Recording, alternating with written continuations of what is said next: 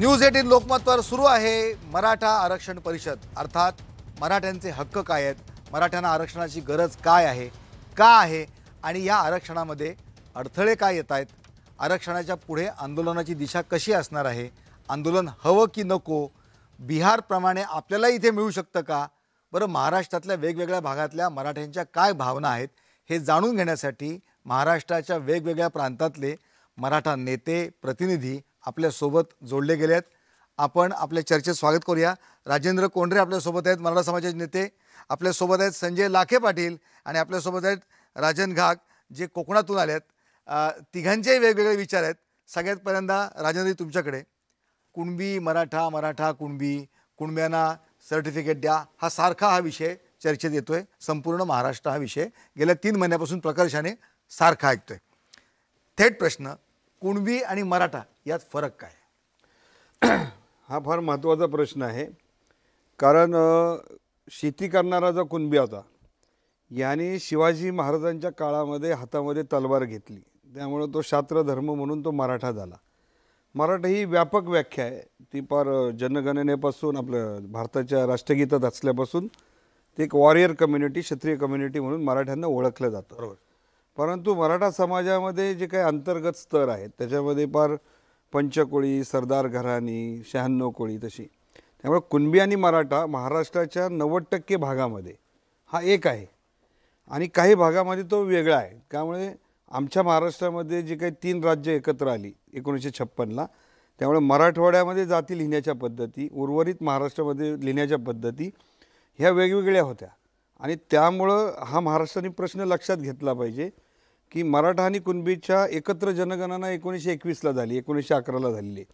त्यामुळं जनगणना ज्यावेळेस एकत्र झाली त्यावेळेस जाती लिहिण्याच्या नोंदीमध्ये ही महाराष्ट्राला पहिल्यांदा मी सांगतो आहे की शाहू महाराजांच्या वेदोक्त प्रकरणामध्ये क्षत्रियत्वाची क क्लेम केला गेला आणि त्या क्लेममध्ये मराठा आणि बहुजन समाजातल्या अनेक जातींनी आपल्या नावापुढं मराठा लावलं तसं कुणबींनी पण मराठा लावलं. आता कुणबी आणि मराठाचे संबंध इरावती कर्वेंपासून इतका विषय आहे की अनेक ठिकाणी तो नव्वद ठिकाणी एक दिसतो.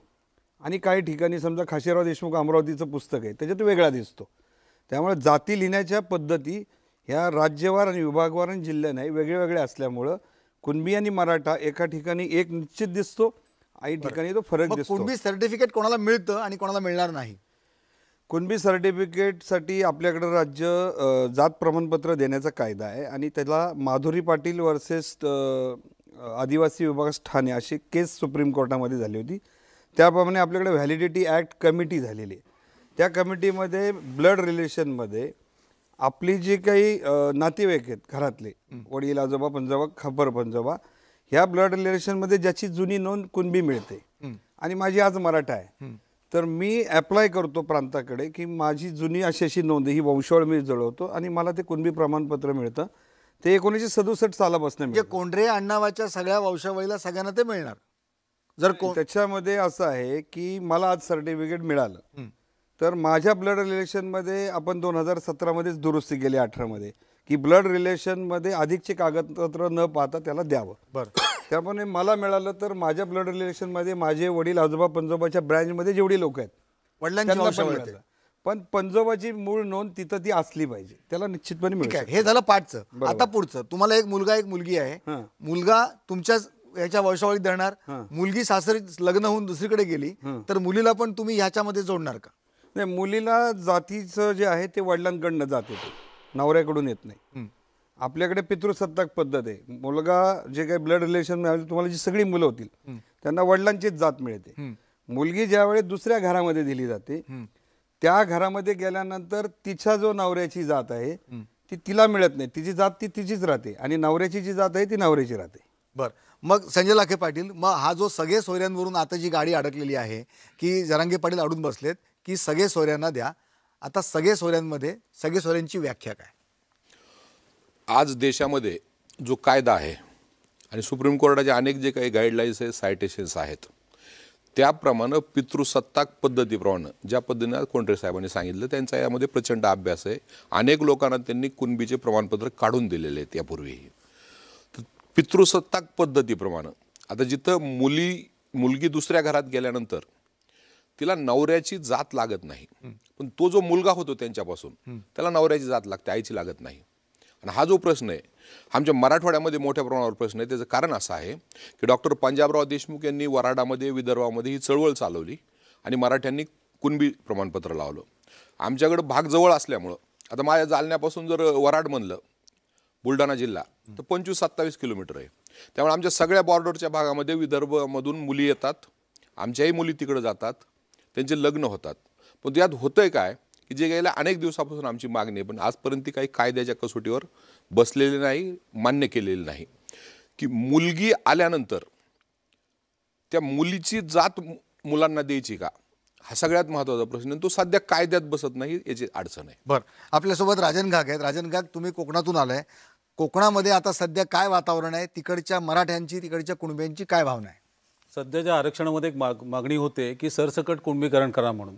आम्ही सगळ्या आंदोलनात सगळ्या नेत्यांच्या बरोबर सगळ्यांच्या पाठी होतो आम्ही पण केसेस झेलल्या पण ही मागणी मुळात कुणबी सरसकट हे कोकणात शक्य नाही.